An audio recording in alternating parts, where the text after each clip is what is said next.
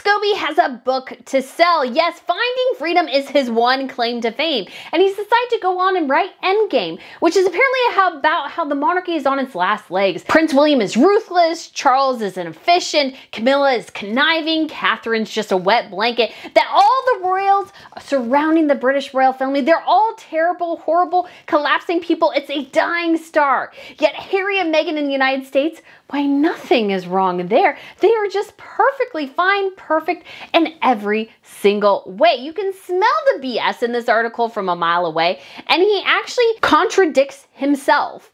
And he doesn't even totally make sense in a lot of these instances. And it's almost funny to see some of these big publications giving him a platform because he doesn't realize that they're almost leading him to his doom, much like what's happened with Harry and Meghan. In fact, really, he's following the Harry and Meghan playbook to the letter, giving us a sob story about online bullying and how, oh, it's so hurtful. There's a tear in his eye.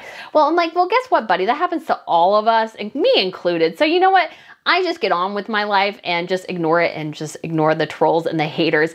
And I think some of the hatred that's towards you might be the result of your own doing in this instance because what Omid Scobie has done is he's attached himself to Harry and Meghan. And as their star has cratered, and as they've been calling out for lying, hypocrisy, all these sorts of things, he's getting dragged down with them. And he seemingly refuses to acknowledge any other wrongdoing while constantly hammering the monarchy on their wrongdoing. And now you can say on this platform, sometimes I do something similar, but I have criticized William and Catherine before on Twitter and even on here, and I've gotten a lot of flack from that. So I don't really apologize because I feel like I am an equal player here. I try to look at all sides of the equation.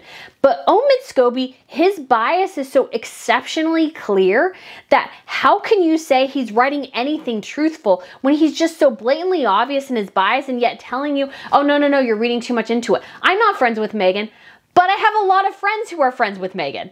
But there's no connection. I'm like, when he said that in the article, I'm like, what are you talking about? If your friends are friends with her, then obviously you had the inside track to her and nobody else in the monarchy. And I just find that stuff so incredibly grating that he complains about how he's treated and yet he obviously doesn't see the hypocrisy in what he's doing. So we're going to analyze this Times of London article today because I think it is awesome. And I also think it's awesome if you subscribe because we have a lot of fun here. We love talking about royals and royalty and all the chaos going on with Harry and Meghan. They are endless sources of amusement to people. And I know some people say, well, why do you cover them? I was like, well, it's the car crash mentality. people watch them to watch them make a disaster of their lives. That's why people people are so interested in watching the Harry and Meghan saga. Despite what Omid Scobie and others might say, it's the car crash mentality, guys. That's what's truly going on here. So without further ado, let's go ahead and get into it. So it begins describing what Omid Scobie talks about in the book, that the House of Windsor is crumbling, the king is unpopular, stick in the mud, the queen is a ruthless operator, the Prince of Wales is a power-hungry schemer. The Princess of Wales is a wet blanket who really didn't want to appear on Blue Peter. And the Duchess of Sussex and her husband, all fine and dandy and with a bright future before them. So again, even the Times is kind of turning the screws to him. And it's just weird to watch somebody walk into their own career fall, basically. That's sort of what he's doing. And I will give his book a read. I won't I will get a used copy or hopefully a publisher's copy. That's what I've asked for is a publisher's copy. But it just it's interesting to watch somebody kind of subtly walk off a cliff here because Harry and Meghan associating them with them never seems to go well for anyone over a long period of time. It just seems to sort of end in an epic train wreck for everyone. So it's really best to keep your distance. And I think Omid Scobie could have had a pretty decent career as a royal reporter, utilizing his connection to Meghan to get into the royals and then cover them more broadly. But instead of doing that, instead of taking that opportunity and really running with it in a good way, he he's gone the opposite direction. He's like, okay, I'm going to attach my star to that of Harry and Meghan. But the unfortunate thing is, once you attach yourself to that star and that star falls, your star fall starts falling too. And I wouldn't be surprised if some of his prospects dry up. So it'll be interesting to see because the thing is with Omid Scobie as well is nobody even within the royal reporter community likes him most of them sort of make fun of him. Like Richard Eden has been pretty scathing about Omid Scobie in the past, and so have many others. And sometimes they'll go on his his tweets and go, well, that's how it's done in every royal event. Scobie, why are you complaining about this one? It's done in every single royal event. So they all know this guy doesn't really have access and had a very minimal window where he was able to go on, I think, one or two tours, and those were both with Harry and Meghan. So really his broad experience here is very, very limited. Yet he's using it to propel himself and propelling what he thinks Harry and Meghan's narrative is going to be. But as time has gone on, that narrative has cratered, it has crashed and crumbled, and there is a ground zero situation in its wake because things aren't going well for them. But if he continues to tell us yes they are, then of course we have to believe him, right? I mean, we ignore all the evidence around us. We just need to listen to Omid Scobie. And so they ask him in this Times article, are you a friend of Meghan? And this is Laura Pullman, who is the author. He says, no, I'm not her friend. And I didn't interview her for this book. Does anybody believe that? I mean, you almost start off there with what many people consider probably a lie or misleading. Maybe they're not friends friends, but maybe they're acquaintances. Maybe they interview her. Maybe he had a conversation with her. Again, the nuances of what he's saying means that he is not giving you the full truth here. And again, you see this throughout the interview and that he's kind of tiptoeing around things in a lot of ways to try to make his side make sense. And I just don't think any of this is going to help him, just like it has not helped Harry and Meghan. It's just Amazing. It hasn't helped them. Why do you think it's going to help you? Okay, let's go on. So he says, I'm very aware that I'm quite disliked in Britain. The way anything about me is said is as if I'm just the absolute worst person. He tells me later tears appear in his eyes and he, you feel genuinely sorry for him. But honestly, I don't because I think the irritation with him comes from the fact that he's avoiding the obvious and yet trying to state contradictory things. He criticizes Catherine for something, yet praises Meghan for the same thing. It just doesn't totally work. And him doing that, I don't think does himself any favors here. And I should have done this in a video on Twitter and I meant to, and maybe I still will, but you know, I would have criticized Meghan for Catherine, her dress riding up quite a bit when she got out of the car at the South Korean state visit. We haven't seen that from Catherine in a long time, and so I kind of excuse it because I think, well, she must have not have realized how the car would get out because really did ride quite high. And she had the long cape on and everything. And I'm sure she was thinking to herself, well, I have this long cape. How did this happen? And so I feel you there because sometimes you think you plan for all scenarios and all of a sudden something slaps you in the face. So I feel for Catherine there. But at the same time, I can also say those things and not like Omid Scobie who can't really say those things because he would criticize Catherine for that. And yet if Meghan did that, oh, she's an independent woman. Look, she's showing you her legs or whatever he would say in that scenario. Again, I think that's where the frustration lies. Not just that they don't like him, not just that maybe he's the victim of online bullying, but that's kind of what comes with the territory when you become somebody who speaks out publicly on things. You become a target. And that is just what you have to live with. And so to say this, oh, sorry, oh, people aren't nice to me. I'm like, grow up. No, they're not. They're terrible on Twitter. Who cares? Just do what you do if you're passionate about this. But what I thought was really interesting is there was another comment because obviously he keeps kind of trying to go, oh, no, no, no, read the book, read the book, and then you can have, you know, opinion on it or whatever. It seems kind of apparent to me as well is that he's and somebody said this on Twitter that he's probably not really all that confident in this work. And I don't think he is because when he initially wrote this, the fortunes for Harry and Meghan were looking better than they are right now, which is pretty poor. So he says he's not friends with Meghan Markle, and then he goes on to say, I have mutual friends with Meghan. Not just a friend, friends. So you're obviously peripherally attached to her. And that definitely helps with getting information and breaking details. He says, but no, he's not on the Sussex payroll. No, he's not sleeping on the sofa at their mansion in Montecito. He's renting a home in the Hollywood Hills a long way from his upbringing in Oxford. So they did the pictures of him in LA as well. And so I'm just wondering, it's like, so are you going to LA now? Are you following the Harry and Meghan dream? Because again, it's just all too convenient to not think uh. According to his sources, Endgame, H&M, as their staff call them, I would like my staff, you know, to call me by my name. That would be nice. We have to remember that this couple that this is just my own opinion, not something he's been fed by Meghan Markle, which I'm sure he was, seem to have bonded over their shared traumas, experiences, and battles that they face together against others. That kind of bond is much tougher to break than anything else. You know what's actually a better bond is friendship. Harry and Meghan have absolutely nothing in common. They're not friends, and he looks increasingly miserable with her. He cannot act and she can. So I'm sorry, but I just don't feel like at all that anything you're saying, Omid, in this scenario is remotely correct. Because I saw Harry in the video that the Invictus Games itself posted, and the guy dropped the puck, looked happy, and then when he turned around, his face just totally fell. And he's he's in front of people. He should be kind of happy because he's interacting with the public, and he's just not there. And then there's this video of him and Meghan walking, I don't know where. And he just looks like a grump and she's grinning at the camera, trying to strut her stuff, having her little convenient and like stylish hand in pocket type of scenario.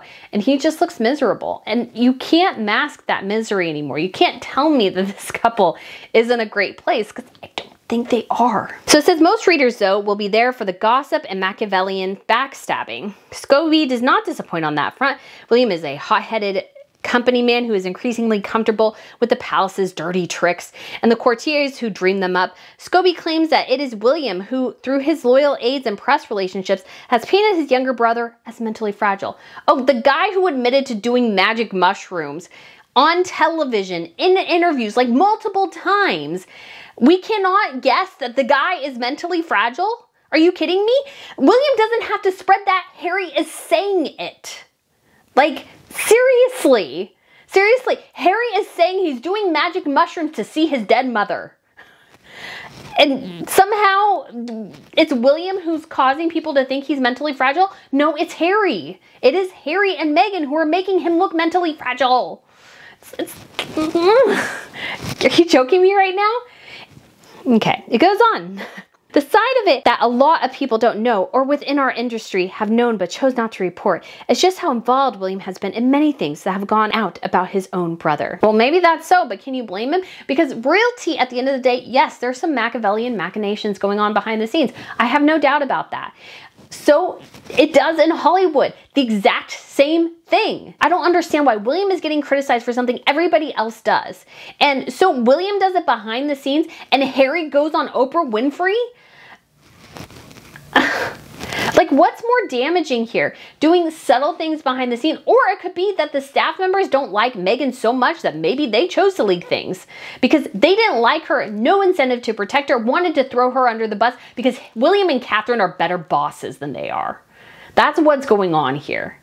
That's what's going on here. And it's entirely possible William and Catherine's camp was leaking things because they wanted to let the public know that the image, the facade that Meghan was putting out is not correct.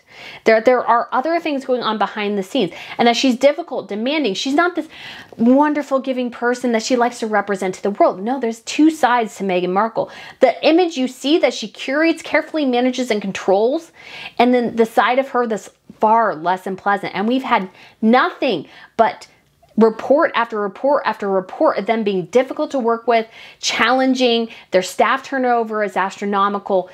That is a problem that does not go away. It has nothing to do with William and Catherine. It has everything to do with Harry and Meghan. So this is kind of dumb. Queen Camilla, now finally tolerated by the public, reportedly rolled her eyes when subjects such as gender identity or veganism come up. A former aide is quoted. So what? like, Oh, do you expect everybody else to have the same opinion as Meghan Markle? There are diverse opinions out there in the world. I know that's really hard for some people to understand, but there are diverse opinions on things, and that is actually a good thing. If we are all in group think, that's a bad thing. That's a bad thing. Even gluten-free or dairy-free options at a restaurant menu occur. So, who cares? Who cares? I don't care. If that's a personality quirk she has, like, are there worse things in the world? Wouldn't you think a woman allegedly bullying a toddler? Isn't that like a more worthwhile damaging report than a woman who doesn't like a gluten-free menu? Who cares? Scobie claims too that when Piers Morgan called Meghan Pinocchio Princess on Twitter X in 2021 after he, she had spoken out about feeling like she wanted to end her life, Camilla quietly thanked him for defending the firm. Well, yeah, because the firm needed to be defending. Harry, the firm had no outlet to defend itself. Harry and Meghan attacked an entity that does not comment on stories like Harry and Meghan were pushing. And because of that, the monarchy was totally vulnerable because they have no real recourse here. They just hope the public sees through the BS, which most people did. Most people did see through the BS Harry and Meghan were selling. Yes, it, it, it resulted in, in, in a hype for a bit about that. But as time has gone on, it has proved again and again that Harry and Meghan are willing to do any whatever it takes to gain attention for themselves. That little bump they had just continues to fall. So then it goes on to talk about, of course, Catherine. Because, you know, you can't like Catherine. I mean, he's not friends with Meghan, but, you know, he doesn't like Catherine, so. Meanwhile, the Prince of, of Wales, who has jokingly shivered on the mention of Meghan's name, who can blame the woman? Who can blame that woman? Apparently, Meghan Markle bullied allegedly, Charlotte during a bridesmaid's fitting. Why would you think Catherine would be jumping up and down to have a conversation with Meghan Markle? Like, I feel like logic doesn't apply to these people and it drives me bonkers. I was like, do you not realize you're like the instigator of your own demise here? Apparently not. She reportedly had to be gently coaxed into appearing on Peter Blue in 2019. In the coverage of Kate, we infantilize her massively, so the bar is always lower. Scobie tells me from his Hollywood pad. Again, very condescending. It's a very, very condescending and just very backstabby and bitey and just just mean-spirited. The small achievements that we've seen from the Princess of Wales wouldn't perhaps be noted if it was from another member of the royal family. But with Kate, it's like, wow. Many Windsor watchers will raise an eyebrow at this depiction. Kate's public profile having risen sharply since Megxit. So this is going on not quoted. And not by accident, her campaigning around formative childhood years has been well received in many quarters. Part of the Wales' strategy now, Scobie says, is to take Harry and Meghan on at their own game and focus on winning over the US, more trips, more press, which ha must have Harry and Meghan quaking in their boots. Moment Scobie, Catherine, for the first several years of her marriage, was raising her children. And yes, she didn't do as much as some of her peers. I've been totally honest that I have thought that, and I think that somewhat holds true. But now that we see sort of the formation, the holistic view, she took that time with her children because she wanted to use that and understand them and give them a great foundation, which she is now using some of her experience as a mother to help guide the early years foundation so that they can hopefully raise the next generation of Britons and have this amazing connection between them. That is what Catherine is doing, and I think that's absolutely incredible. And so it is going from strength to strength, and she's been very cautious, and I think the caution has been good because if you jump too far into things, then things can crash and burn. And does Omid Scobie offer anything that Meghan has done that's significant? I mean, she's done some things, but she was also a woman almost in her 40s when she married into the British royal family. Catherine was in her late 20s, and her and William were leading a very different life to what they are now. So things change and things evolve. That's part of life. And what is Meghan doing that's all important? She's going to Katy Perry concerts, Beyonce concerts, Taylor Swift concerts. Look at her go. Yeah, okay. And then obviously we have to complain about the Duke of York because the Duke of York does not get criticized nearly as much as Harry and Meghan, even though the Duke of York has lost essentially his whole life. It's still, Harry and Meghan still, I mean, they are the perpetual victims of everything. So looking at the monarchy right now, in Scobie's view, unless the world rapidly change, the whole institution will shortly come skidding off its gilded wheels. We are at this pivotal moment in time where the future of the royal family as we know it is in a crisis. The crisis being a lack of interest from young people and apathy, a growing Republican movement, questions over whether the family still holds the morals and values of the crown that the Queen did such a great job of. When you look at the cast of characters, it has been questionable. Um, well, don't you think it's been a bit questionable on Harry and Meghan's side too? I don't think Harry and Meghan can speak to family at all. I mean, they basically carpet bomb their entire families. So how in the world can Harry and Meghan have like the higher higher play here? I don't think they can. I don't think they can. Again, I don't understand what he thinks this interview is going to help him with. And is he trying to be a real reporter anymore? Or is he carpet bombing that whole career? Well, I guess if he's living in Los Angeles, he's moving on from that. And good because he doesn't really have a future there, I don't think. His assessment gets worse. For endless talk of modernization, the royal family Inc. is as resistant to change as ever. To stay relevant, the system, and almost a Trumpian twist. Of course, he has to put in Trump. And it's like, how does that, I don't understand how that helps you here. And you're deliberately trying to malign them by using a guy most people don't like, whether or not that's good or bad, doesn't matter. But you're using that to deliberately malign them in a way that is, I think, just childish. Leans on patriotism, even jingoism. What is wrong with patriotism? Shouldn't you be proud of the country you're from? Are we supposed to all hate our countries? I don't understand. Yeah, I don't understand that. To shore up its purpose, he writes, it's punchy stuff. Rather than ever facing or confronting challenging of modern times, whether that is diversity or other social issues, the institution of the monarchy regularly turns away from that and relies on support for things of the past as opposed to widening the following of the royal family. Here's the truth though. Sometimes modernization is not a good thing. Sometimes it's not. And honestly, things that stand the test of time reflect values that have been infused in society for centuries. A monarchy should not be turning on a dime because guess what? When you chase after fads and that fad dies, then what are you left with? So think about, let's say, Hollywood and the Me Too movement. What the Me Too movement has resulted in is a catastrophic downfall of Hollywood and the Marvel Cinematic Universe because they thought they had this idea, well, we had Me Too, so we need to put more women into male-dominated properties, which the Marvel largely appeals to men. And so we'll do this, and guess what? Everybody will come because this works. What has happened? Marvel's is going to be the absolute worst performing film in history. Seen this with Indiana Jones. They decided to put in a female Indiana Jones, not really introduce it well, and it didn't do well at all. It'll actually probably lose the company hundreds of millions of dollars. And I think Disney overall box office this year will probably lose well over a billion dollars. Every single one of their movies, except for one, has been an absolute flop. And that is because I think they overcorrected. That's what Hollywood does all the time. They overcorrect on things. And because of that, it ends up leading them down a, a bad path because we've gotten away from telling stories and now we have to sell an agenda. And that agenda oftentimes doesn't work. And so I see Harry and Meghan as a symptom of that. And so you want the monarchy to rush and change over to what you think is right when the monarchy has stood the test of time because it is timeless. Value timeless things I think will help monarchy a lot more than modernizing because modernizing I think sometimes can lead you to ruin. You need to slowly evolve, not just automatically switch because right now, yes, how often throughout history were young people all that attached to the royals? I think most of the time it is generally an older generation thing because once you get older, you appreciate certain things more than you do when you're younger. And let me tell you right now, Omid Scobie, guess what is going to happen in a couple years? George is going to turn 18, Charlotte's going to turn 18, Louis is going to turn 18, and the interest in the monarchy will explode again.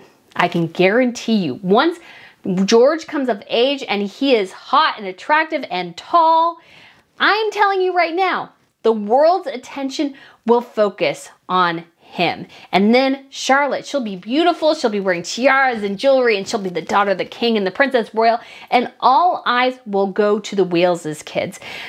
The monarchy, yes, they're in a tricky spot right now. But the future is coming up, and the future does not include Harry and Meghan. Another damaging assertion is apparently growing chasm between King and his eldest son, who is in heir mode because he's the heir. I didn't think that was like rocket science. Prince William, 41, knows his father's reign is only transitional. Scobie writes and is acting accordingly. The pair are out of sync, he says. It would have been nice to see them come together on certain projects, perhaps in the early years, to put on that united front, but they're working in silos, Scobie says, sipping from his bottle of Fiji water. Most other commentators say William and Charles have been become closer in recent years, but the bond strengthened by Harry's departure. 110%. I think William and Charles are very close. And I think what they see is they want to work on different things because they want to leave different legacies. And I don't see a problem with that. Why not leave different legacies? And William can pick up, or maybe his kids can pick up some of what Charles has done, but they're differentiating themselves. Who says they have to do the same thing? Things.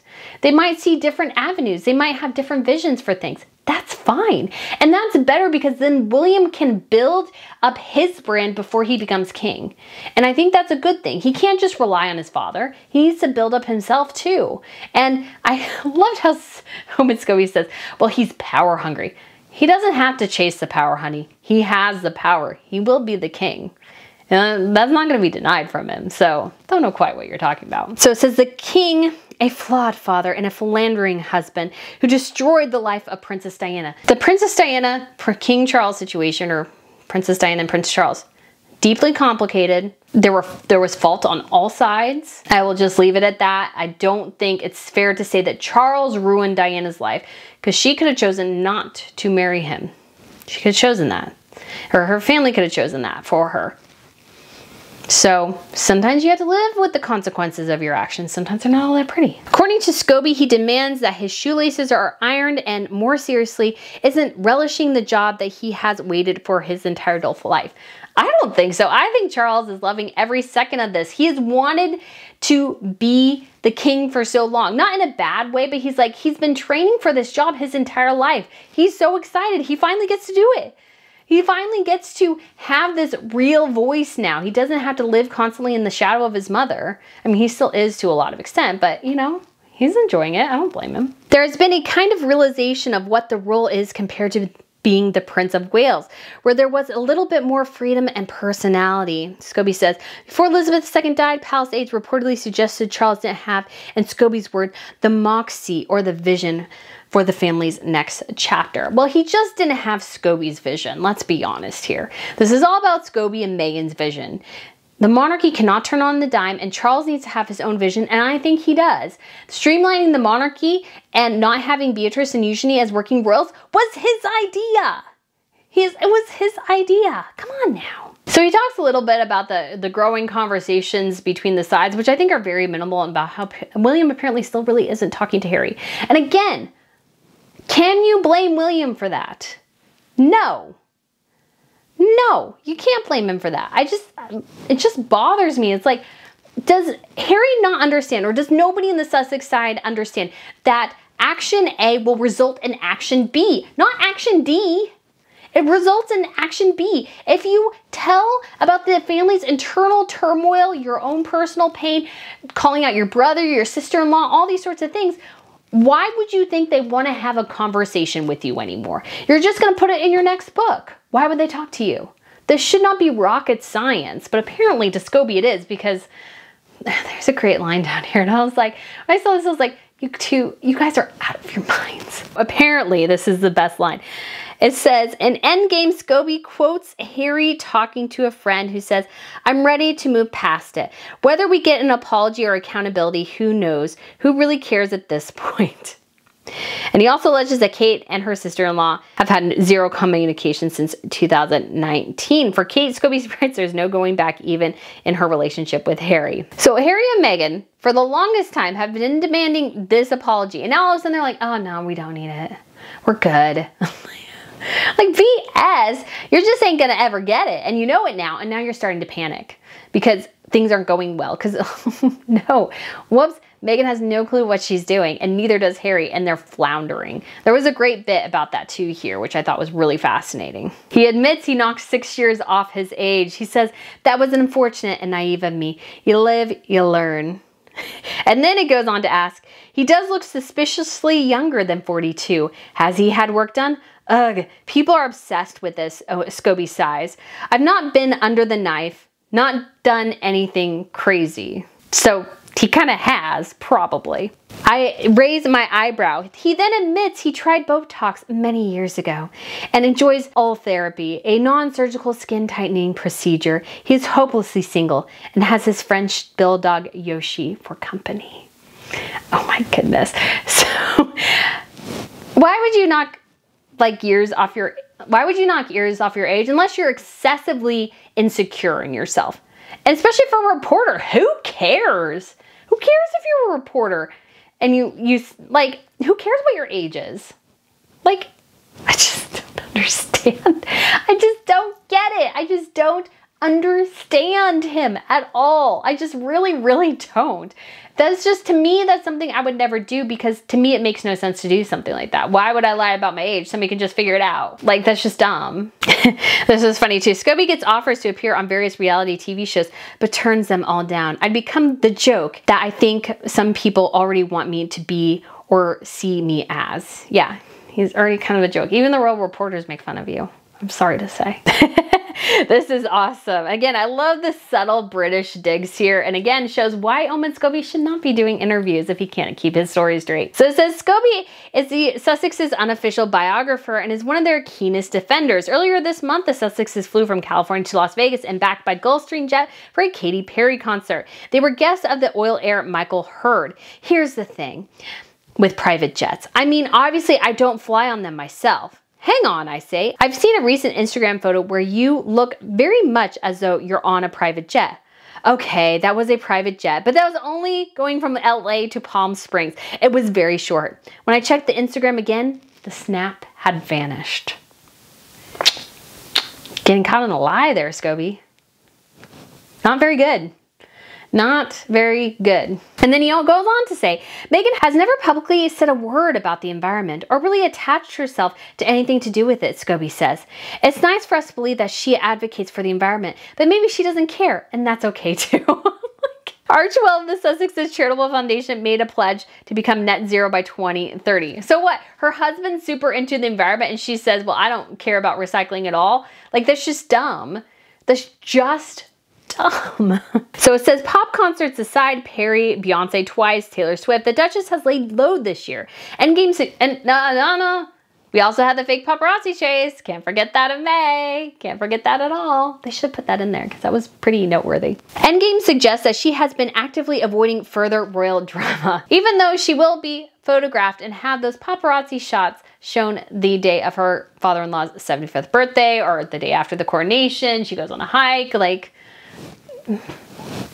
she she is drama. She loves the drama. A significant reason for skipping out on Charles's coronation in May. And also she was worried about not being the center of attention and being behind a feather or maybe another candle. And having to curtsy to her father-in-law and probably brother-in-law and sister-in-law as well. And maybe even her nieces and nephews. That would be funny. It's now set her up to launch businesses and more creative projects and no one can say that she's riding on the coattails of her royal connections because she has purposely tried to sever them. No, she hasn't. She constantly uses her title, the Duchess of Sussex. If she truly wanted to sever ties, go by Meghan Markle. Have the guts to go by Meghan Markle. She doesn't. She doesn't have the guts to do it because she she doesn't have the skills, so she has to use her title. Every time she uses her title, it reminds us of the royals. You cannot sever the connection between the royal titles and the royals. They go hand in hand. If she wants to separate from that completely, then drop the royal title. Drop the royal title. That's the only way to do it. One source in the book says she's working on something more accessible. So I guess apparently everything she's done so far has not gone well. So now she needs to find something accessible for people. Something rooted in her love of details, curating, hosting life simple pleasures and family. So basically she's going to be an influencer. That's what she's going to do because that's all she can do. A friend of Meghan told Scobie that the former actress is busy working on creating something safe and timeless. Now here's the killer, which tells me that this project is in development hell right now. Says, I still don't quite understand what that business project will be because as I spoke to people while writing the book, it changed about five times. So she doesn't have a plan. Or she's thinking, well, that didn't work for so-and-so, so I need to do something else. I need to do something better. Oh, give me six options. I don't like any of the six. Like, it's in development hell, basically. Her priority is apparently business and philanthropy, as she told Variety. Not sure how that works because unfortunately you actually do need the business to fund the philanthropy. Those things go hand in hand. But since Netflix added Suits to its catalog, the show that launched Meghan's career has been a hit all over again. Scobie imagines there could be a cameo role for her in, in the upcoming spinoff if she'd ever bite. Of course she could. They need the money. She'll probably bite. She'll probably bite. So what about Harry who turns 40 next year? His focus, and this is what I was told by the team, is really building his work in the military space within the US. No, my military, Harry, is not your platform. My military is not your platform. You have a platform to do that. It's in the United Kingdom. My military is not there for your personal gain. It's not. It's not there for you to promote your image. That's not what it's there for. It's my military. It's not your military. Your military is an ocean away, buddy. And he says this vaguely. So again, they don't really have a good plan. But number one thing, Harry, to get through your thick head is that my military is not there for you to use and abuse to promote yourself. Go back home if you want to do that. Go back home. My military is not for you. You were not, you are not a US service member. So you need to find and go back to your own military. It's not the United States, it's Britain's. Go back there. There's a real potential there to grow something really impactful. Sure. There's also his phone hacking case against the Daily Mail publisher to keep him busy. The feeling for Harry is that he is one of the few people in the world that has the money to take this on and probably will lose money in the process. He also feels that having seen everything on the front lines and during two tours of Afghanistan, what does that have to do with his stupid phone hacking scandal? That this is a word that's not that scary. oh my gosh. Of course, war in Afghanistan is infinitely more scary than taking on a couple of the British tabloid press where you can't even remember when things, certain things happen and they have to ask you constantly and you can't recall anything. That also happened. He's also probably, out of any public figure, treated the worst by the British press. So his feeling is that it can't get any worse. yes, it can. Yes, it can. And he's not treated the worst. I mean, I think Charles and Camilla were treated pretty badly. Diana, William and Catherine, lots of people. But the problem for Harry is that most of this conundrum is something of his own making. And now we're trying to spin Spare as a success. This is awesome. Spare, in which the fifth in line to the throne read about his frostbitten penis and losing his virginity in a field, did Harry a lot of good in the US because it really reminded people who he was. No, it didn't. They made fun of him on Jimmy Kimmel and in South Park. Didn't help him at all did not help him in the slightest. It's not all blue skies in California though. The couple has become such a big talking point that they become caricatures in the US as well. Perhaps there is some apprehension from certain individuals to even consider working with them. Yeah, I think there is because nobody's sure they can trust them and Harry and Meghan are toxic caricatures of themselves at this point. Why would you go into business with Harry and Meghan? That's a huge risk for you. It says, what about rumors spread by a friend of the royal family that the Duke is so miserable that he regularly sleeps in a local hotel? I know a lot of people that know them that are in their world or their base, and I've never come across anything of that sort, he says, pointing out that the couple have a massive guest house at their disposal. How would he know? Has he stayed there? Because he hasn't stayed on their couch, but he could definitely stay in the bed in their guest house. If you wanted to spend a night away. You don't have to go as far as some janky hotel at Montecito Town Center. Oh, that's just rude. Janky is the opposite of swanky. Well, does he know? Has he been there apparently? And who knows, sometimes maybe you need to escape your life. And so it, even if it is a janky hotel room, it's better than staying at home. That can be true too. Harry's British posho social circle back in Britain shrank when Meghan appeared, and Scobie says it only continues to get smaller, as some of those friends who are also friends with Prince William have picked their sides. Well, that tells you a lot. If they picked the other side, that means Harry's side wasn't that good. He reportedly has a small group of pals in America. The narrative is that some of friendless loser now is all alone and only has his wife to boss him around. It's make-believe cartoon at this point. What Omid Scobie does there, which he shouldn't do, is basically almost confirm the narrative. Basically saying that yes, he sounds like this, but he's not this. Don't don't worry. But almost he's confirming it. When you're trained in PR and you're asked a question, let's say, why don't you like Meghan Markle? I don't say, well, I don't like such and such because of this. That's not how you do it in PR. What you say is, well, seeing how she's treated her family and her royal family, I just don't think she espouses the values of a British royal. Something to that effect. Or I think she has taken advantage of the British royal family. Something to that effect because you confirm the negative. What Omid Scobie did here, which was the PR mistake, is confirming the negative, which is confirming that in a way that, well, he wouldn't stay at a hotel. It's janky. Well, Sometimes people need to escape. Who cares if it's janky? If they talk all about he doesn't have, that he's friendless, he doesn't have friends, there's the whole that narrative. Well, that's just a cartoon. That's not true. But is it? Because you're kind of almost proving it by saying it. Because you're not giving us much details to actually contradict the negative narrative. Love this. Before Scobie can scoot off to his personal training session because somebody is in California and somebody needs to look good now. I want to know if he thinks the royal family will win their fight for survival. Could William be our final king? It would take a lot to dismantle the British royal family, he says.